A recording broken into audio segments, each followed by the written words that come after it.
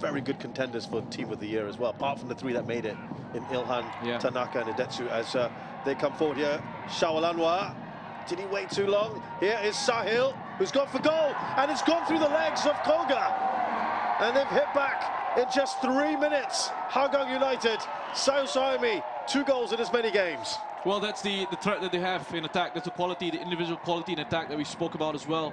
And the quick transitions, you know, the moment they win it, bang, off they go. Take it off uh, Kobayashi in midfield. That's good work by Shawal. And uh, that defense has been uh, left wide open. Could have been five, apparently, with uh, Wow. Kapitovic missing that chance. And perhaps he's heard that Tanaka has left the field of play. Well, that's fallen in nicely. Sahil Suhaimi, open goal in front of him. His second of the night makes it 3-2 now. Oh, there we go. That's a superb cross by Shawal. Right onto the head, onto the run of Sahil.